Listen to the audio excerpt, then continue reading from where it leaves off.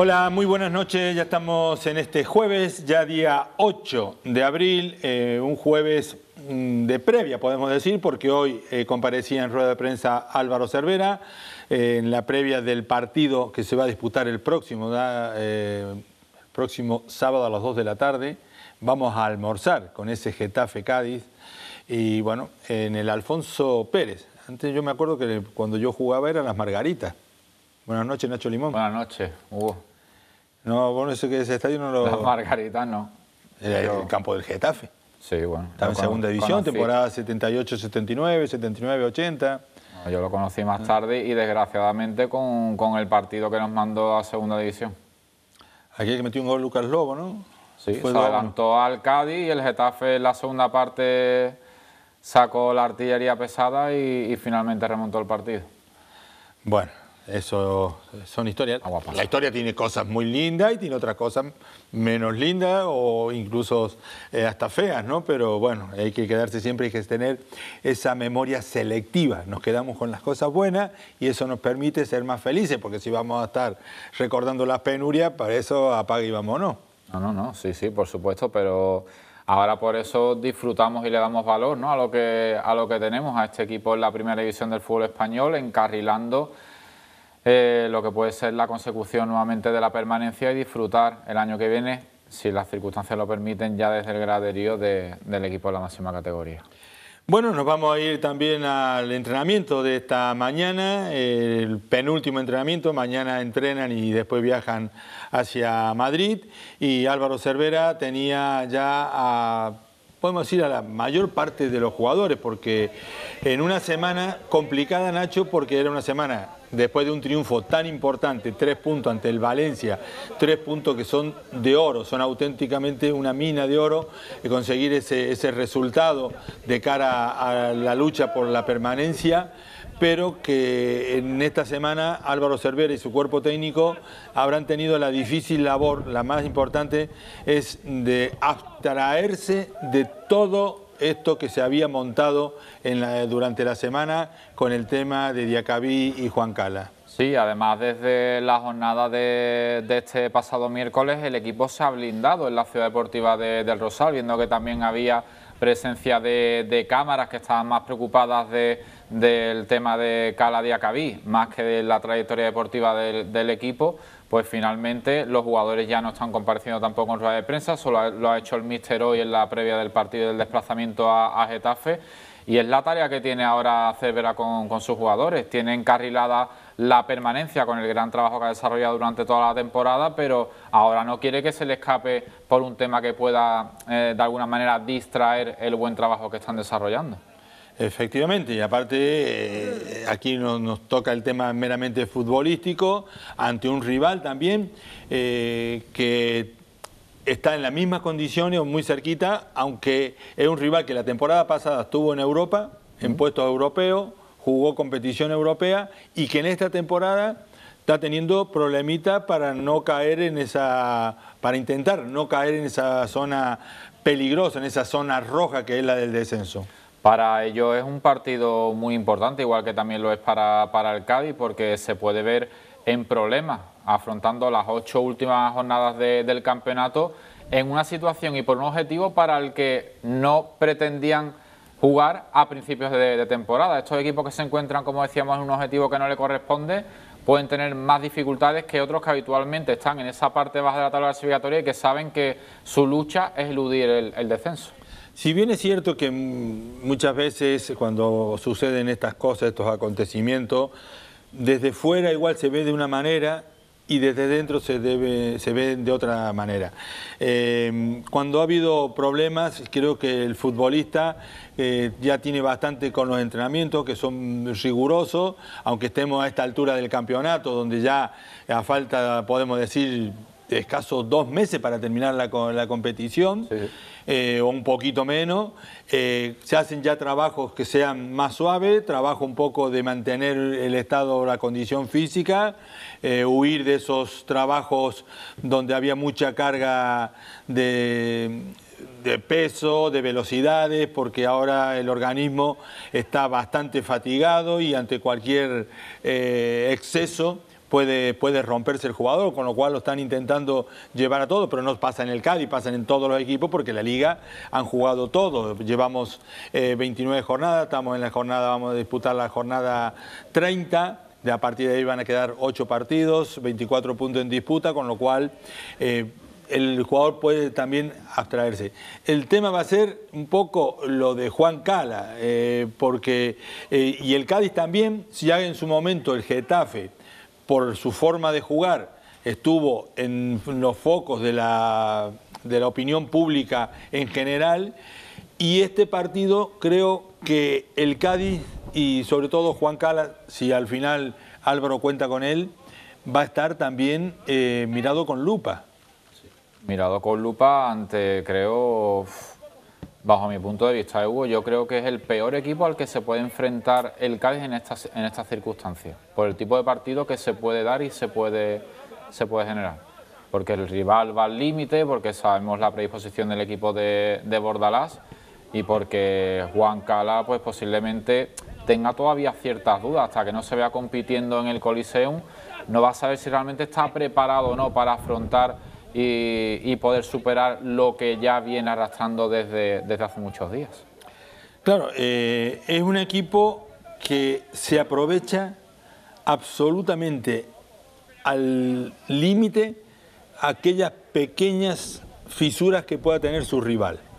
Y en este momento la fisura más importante que tiene el equipo de Álvaro Cervera es ese San Benito que se le ha colgado a Juan Cala por parte del Valencia, que allá están haciendo su circo, porque es un verdadero circo, o sea, porque los mismos valencianos que están en contra de la gestión de este hombre, que, bueno, mm, asiático, entre la India, que está en Europa, lo otro, lo demás, ya, eh, viene a dar lecciones aquí de, no sé qué. ¿eh? en vez de estar preocupándose más por su país, ¿eh? a dar lecciones aquí al fútbol español. O sea que me parece totalmente fuera de lugar, por eso, eh, y, bueno, eso lo sabe el público, los valencianistas, los aficionados del Valencia Club de Fútbol, que seguramente estarán abochornados, la mayoría de ellos, hay otro sector, el ultra, que ese no, no, lo, no lo contabilizamos, pero de la forma que se ha desarrollado esto, porque esto ha pasado de castaño a oscuro y no realmente no, no tiene pie ni cabeza lo que quisieron hacer. Todo soliviantado por un jugador ¿eh? que quiere erigirse como capitán, como el buque insignia del equipo, se llama Gabriel Paulista, que eh, yo todavía no sé quién ha sido el que propuso ¿eh? que se retirara el equipo. Por lo que hemos visto en la televisión, yo estaba en el terreno de juego, mm, se ven pocas cosas, estás arriba en la tribuna, no escuchás absolutamente nada. Entonces, pero después por las imágenes de la televisión, creo que es el propio eh, eh, Gabriel Paulista el que el inductor de que de agarrar a Diacabí y llevárselo e intentar salir del terreno de juego que después siguen sus compañeros. No sé si le habrán preguntado a Javi Gracia, si le habrán preguntado a, esto, pero yo creo que la decisión de irse del campo es de Gabriel Paulita. Creo, no lo puedo asegurar porque no lo he escuchado, pero creo que es él por de todo lo que fue desarrollándose desde que eh, Diacabí se fue a buscar a Cala y a partir de ahí Gabriel Paulista, que dice que le han dicho de Acabí, que le habían dicho negro de mierda. ¿Eh? O sea, él no lo escuchó y estaba a dos metros. Pues estaba a dos metros, es el central, está en la pareja de centrales, Diacabí y Gabriel Paulista. Domenech, otro exaltado, ¿eh? de dudoso proceder también ya hay muchas veces en el fútbol y en la portería del Valencia. Tampoco escuchó nada, porque él no dice que haya escuchado nada. No hay nadie absolutamente nadie, ya no, podemos poner los micrófonos, de los jugadores en un campo vacío de público, vacío de público, no había, no se escuchaba un alma. Y ellos no fueron capaces tampoco de escuchar nada. O sea que si hubiera recibido 50.000 personas y la gente jaleando a su equipo, Puedo entender que no se escuche por el murmullo, pero que no he escuchado nada y estaban a dos metros y acusan gravemente eso. En fin. No, sí, yo creo que hay que dejar que, en este caso, la Real Federación Española de Fútbol, que ya conocemos que ha abierto investigación, pues llegue al fondo del asunto. A día de hoy no hay pruebas que inculpen a Cala de haber eh, proferido ese insulto racista, como dice el futbolista francés y cuanto antes centrarse en lo verdaderamente importante que, es la competición porque el Cádiz todavía no ha conseguido el, objetivo y lo que no deseamos es que esto de alguna manera enturbie el entorno y el buen trabajo que está desarrollando Cervera con sus jugadores. Efectivamente, vamos justamente a hablar de Cervera porque hoy en rueda de prensa que pretendíamos que eso fuese una rueda de prensa pensando en el partido del próximo sábado eh, por la jornada 30 de la Liga de Primera División, pero irremediablemente tenía que salir el tema que nos ha ocupado durante toda esta semana porque eh, realmente mm, ha sido bochornoso, bochornoso. Escuchamos al técnico del Cádiz Club de Fútbol. Eh, sí, claro, las dos cosas que has dicho. Nosotros tenemos un partido pasado mañana muy importante para nosotros y sin duda la semana ha sido diferente a todas las demás, claro que sí. Eh, al principio eh, ha habido mucho, se ha comentado mucho todo lo que pasó el domingo pasado y bueno, eso sigue en el ambiente, pero nosotros, como entenderás, pues eh, sin ser ajeno a, todo esto, eh, intentamos centrarnos en el partido que ya de por sí es difícil y después de una semana como esta, pues, pues lo, lo está haciendo un poco más. Alguna cosa sí me ha molestado, sí, alguna cosa sí, pero pero lo doy por, por, porque es mi trabajo y porque tengo que, leerlo y tengo que escucharlo, pero, pero bueno, lo, lo, mm, intentas eh, olvidarlo sabiendo tú desde el principio que hay cosas que se han dicho que, que, no son ciertas, algunas, y otras pues que puedes estar más, más, más a favor o más en contra de lo que, de lo que se ha dicho. Bueno, esa es la, ese es un poco eh, mm, la misión nuestra durante esta semana y, durante las demás. Eh, se ha puesto mucho el foco en, el Cádiz, se ha puesto mucho foco en lo que pasó el otro día. A nosotros nos conoce todo el mundo. Eh, yo conozco a, Juan desde hace dos años, sé cuál es su forma de vivir, sé cuál, eh, está en su casa, él está en la mía, yo lo conozco perfectamente. y, es, una persona que merece la pena y, como lo conozco, por eso, por eso lo defenderé y por eso, mm, por eso le creo.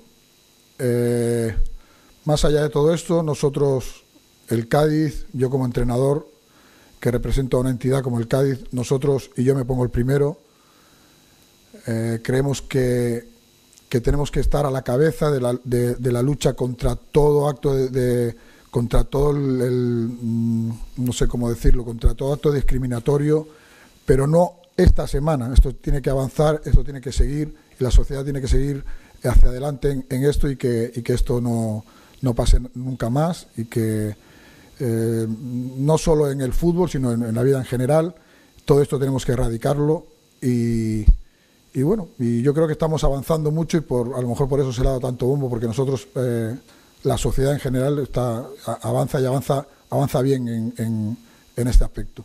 El jugador afectado está, porque es buena persona, y las buenas personas se, se afectan cuando, cuando le pasan cosas así, y, seguramente lo está pasando peor de lo, que, de lo que yo le veo entrenando. Ya decidiré yo mañana, pero en principio eh, mm, yo tengo que hacer que que el jugador se sienta mm, de alguna manera con el poco a poco se tiene que sentir bien, arropado y, y, que todo vuelva a la normalidad mm, más posible y lo, y lo, antes posible. El colectivo del fútbol es un colectivo, muy sano, muy sano. Yo siempre lo digo, lo, lo, para mí, para mí, personalmente, lo mejor del fútbol son los jugadores, porque los conozco y porque convivo con ellos. Luego lo que haya querido hacer cada uno a nivel particular, pues Mm, ya es eh, cosa suya y los y los clubs pues pues pues también es cosa suya no puedo no puedo opinar pero a nivel personal lo que yo he podido mm, transmitir no estoy hablando de que han defendido o no han defendido al jugador sino lo que te han transmitido es que, hay que luchar contra esto, que, todos estamos y, que se está haciendo bien, que la sociedad avanza en, en de que esto se normalice. Y bueno, y se ha hablado del, caso particular. Bueno, todos tienen su opinión y todos tienen una forma de verlo. Mm, no ha habido más, ya, ya, te digo, públicamente, como dices tú, quizá ha habido más silencio, pero privadamente sí que, sí que hemos hablado más que, en otras semanas. No. El Getafe es un equipo eh, que juega con sus armas. Y ya está. Y, el que lo quiera ver de otra manera, bajo mi punto de vista, se equivoca. El Getafe es un equipo que te lleva al límite en muchas situaciones, en lo deportivo, en, en, eh, eh, lo que pueda ser, no es extradeportivo, porque no, las cosas que hacen no, no lo son, y te lleva al límite y tú tienes que estar preparado. Y, y no, no, no, no, yo no, no lo pienso así, no, no, no es este el caso. Yo no, es más, yo no estoy de acuerdo con los que hablan del Getafe como un equipo. El Getafe usa sus armas igual que nosotros usamos las nuestras, que les puede gustar más o menos a alguien, pero, pero no. Y, y no, es un partido más contra un equipo y que, que sabemos que en algunas cosas es diferente a los demás. Bueno, pues, pues eh, pelear contra ellos, pelear en, eh, futbolísticamente, deportivamente contra ellos y nada más. El vestuario está formado por, eh, por, redondear, por 30 futbolistas eh, que hacen un grupo, pero que cada uno de ellos es una individualidad. Yo cuando me dirijo a ellos, me dirijo al grupo y le intento dar eh, una visión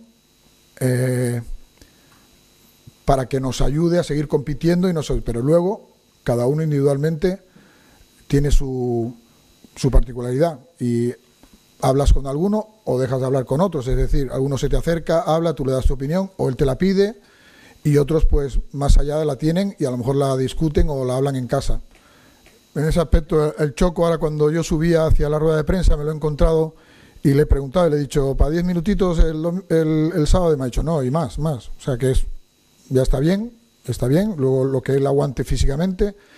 Eh, Rubén Rubén Sobrino eh, paró porque tenía que parar, pero, pero está disponible. Alex no, Alex está parado. Mm, esperemos que sea poco tiempo, pero está parado.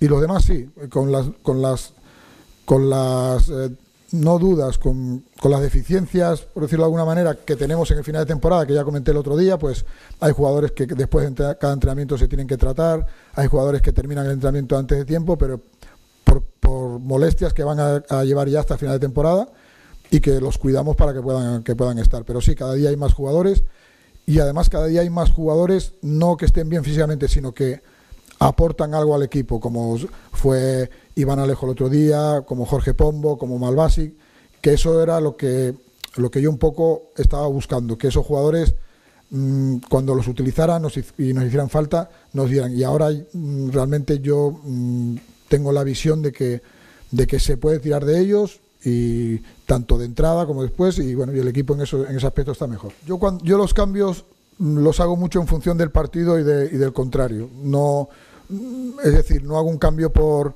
pues cambio este por este porque siempre lo hago en minuto 60 o cambio no. Y ha habido algún partido que, que creía que era Sapo el que tenía que salir como fue el día del Atlético de Madrid y algún otro partido que ahora no recuerdo concretamente cuál era y hay otros que he pensado por cómo está el partido, cómo, cómo está el contrario, que ha tenido que ser Philip en este caso, o es el Choco, o es... Los hago en función de eso. Yo creo que el Getafe jugando en casa contra nosotros no va a firmar el empate en ningún momento. Pero el partido que espero, yo el Getafe lo considero un, un, equipo, como he dicho antes, que te lleva al límite en todas las jugadas. Quizá, quizá no es un equipo eh, de jugadas definitivas, es decir, de, de, que, de que te desarbole con, con la pelota y, y, que tienes que estar pero cualquier jugada que parece intrascendente, ellos te la llevan al límite y te la hacen y, te la hacen importante. Un balón cerca del córner de, tu córner que no va a ningún sitio, ellos la pelean, la sacan, te sacan una falta, te sacan un córner o, salen de esa jugada, meten muchos balones al área, los jugadores, los delanteros son, son un incordio porque no paran de correr. Eh, y luego le han añadido un poquito de un poquito más de calidad. Bueno, yo creo que eso va a depender de los de los eh, de los duelos directos. Es decir, cuando nosotros nos enfrentemos contra el Elche, contra el Huesca, que nos queda, cuando ellos se, se, enfrenten entre ellos, ahí es donde va a estar más caro o más barato el, los puntos para, para, salvarse. Entonces no podemos decir ahora mismo que va a estar en 38, en 36 o en 40. Yo creo que depende de esos duelos directos. Si esos duelos directos tú le ganas, lo vas a, lo vas a poner más barato, si tú lo pierdes se pondrá más caro y eso es eh, eso va a ser. ¿Disfruto yo con mi trabajo? Pues mira, eh, yo lo que hago es hacer que mi trabajo eh, sea disfrutable, es decir, yo me levanto todas las mañanas y vengo aquí y sé qué tipo de vestuario me voy a encontrar, qué tipo de jugadores, qué tipo de ayudantes, qué tipo de gente va a estar alrededor mío y durante cinco años he hecho posible que venir todos los días al Rosal para mí eh, sea, mm, mm, eh, sea un acto de, de, estar contento, ¿eh? que nada de lo que me voy a encontrar me va, me va, me va, a cambiar la, la, sonrisa de por la mañana, ni eso, eso yo creo que lo, que, lo, que lo hemos conseguido nosotros. La presión, tremenda, tremenda por todo. También es que cada uno es de una forma de ser pero la, presión tremenda, sí. Yo te puedo decir que este año ha habido reacciones mías cuando he estado solo que no las he tenido otros años. Reacciones mías de que yo mismo me, eh, me he sorprendido, que tienes que coger el teléfono y llamar porque, porque necesitas hablar con alguien, necesitas, porque sí. Eh, por ejemplo, el otro día cuando nosotros llegamos a Carranza apareció por allí, eh, no sé cuánto eran, 200, 300 personas en moto y eso de verdad que a uno le, eh, como diciendo, vuelvo, vuelvo al pasado, vuelvo a la realidad, yo quiero a esta gente, yo necesito a esta gente para poder llevar todo esto. Bueno, pues ahora no lo tenemos, pero esa gente la necesitamos porque es un poco la que te quita toda esa presión que ahora mismo la llevas tú encima y te la llevas a casa y es complicado. ¿eh? El COVID, eh, la sanción de cuatro partidos aquella que me pusieron, los puntos para salvarnos. Mm, esta, la mochila es complicada, sí. La verdad que qué razón tiene cuando habla de la afición, o sea, estar en primera división después de 15 años y no poder estar con tu equipo, viéndolo, sufriendo con el equipo indiscutiblemente, porque esto no es un camino de rosa, pero eh, la consecución de puntos también te da la alegría y llegas a tu casa con, otro humor, eh, porque muchas veces jugás bien y perdés. Eh, el partido y decir, bueno, te vas con un cabreo bárbaro, pero otras veces no jugás tan bien, lo que se llama jugar bien, pero sí sacar buenos puntos, buenos resultados. La importancia que dice, ¿no? De los aficionados para quitar esa, esa presión que llevan cargando durante toda la temporada, pero bueno, la están encarrilando bastante bien. Lo están encarrilando bastante bien y encarrilando ha salido la Real Sociedad ayer en el último partido de la jornada 29 de la Liga de Primera División, la Liga Santander, en ese pasillo que teníamos eh, para ver eh, ese partido entre la Real y esto. Pero antes eh, vamos a ver y vamos a escuchar, mejor dicho, al alcalde, Nacho, porque hoy en rueda de prensa se hacía referencia a lo sucedido entre Diacabí y Cala. Sí, el alcalde de Cádiz, José María González, que se ha posicionado del buen hacer del club, según él entiende eh, lo que está haciendo el caso Cala Diacabí, defendiendo los intereses de su jugador, del cual, como venimos reiterando, no hay prueba absoluta ninguna de que haya proferido ningún insulto al jugador francés del Valencia. Condena, por supuesto, el racismo, pero también defiende igualmente la presunción de inocencia del futbolista sevillano del Cádiz. Escuchamos a José María González.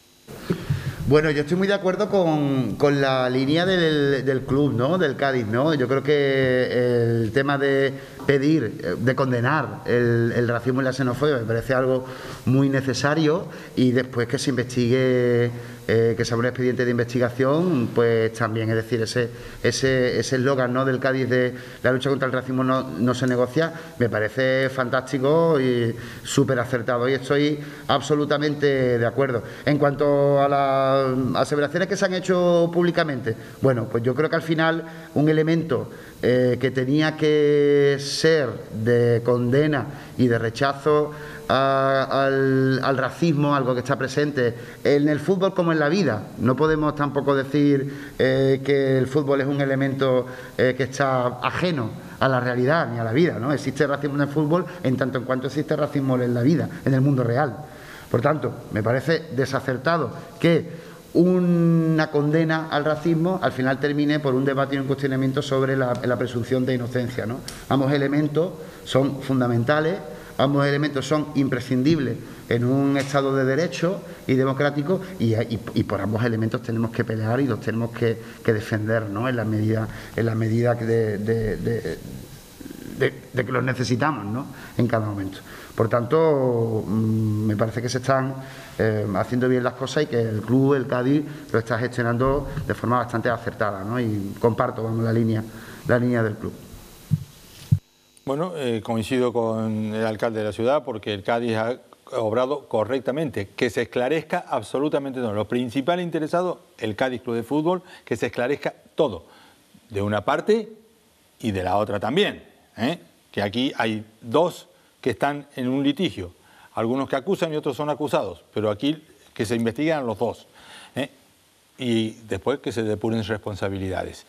Nos vamos a ese pasillo que le hacía el Athletic Club de Bilbao en el Real Arena a la Real Sociedad eh, por haber conseguido la Copa del Rey de la temporada 19 y 20. ¿eh?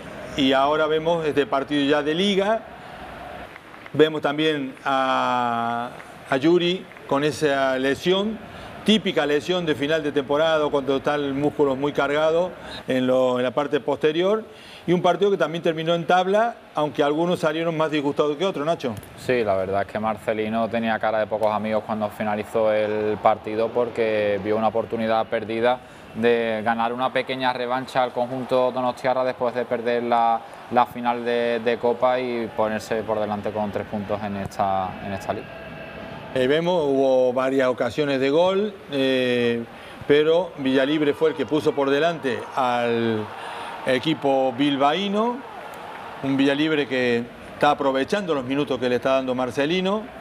También hemos visto un poquito más bajo a William, a otra serie de jugadores. Y aquí Unai mm, creo que se confía, piensa que el balón va afuera y se le cuela por, eh, por la escuadra, vamos. Sí, además en finalizando ya el, partido, por eso te digo que perdió en último momento la oportunidad de, sumar tres puntos el conjunto de, Marcelino y Unai Simón, que ya acumula, además de, este error, pues alguno con, la selección, está en proceso de, formación porque es un futbolista muy joven, pero tiene mucho talento y esperemos que cuanto antes, sobre todo por el bien de la selección, pueda ofrecer su mejor nivel. Así es, Nacho, muchísimas gracias. Nosotros ya nos hemos quedado sin tiempo. ¿eh? Ya mañana más. Mañana más, nos vemos. Y mañana nos vemos aquí en el Submarino Amarillo a partir de las 10 de la noche, la previa del partido entre el Getafe y el Cádiz Club de Fútbol el próximo sábado a las 2 de la tarde en el Alfonso Pérez. Muy, pero que muy buenas noches, hasta luego.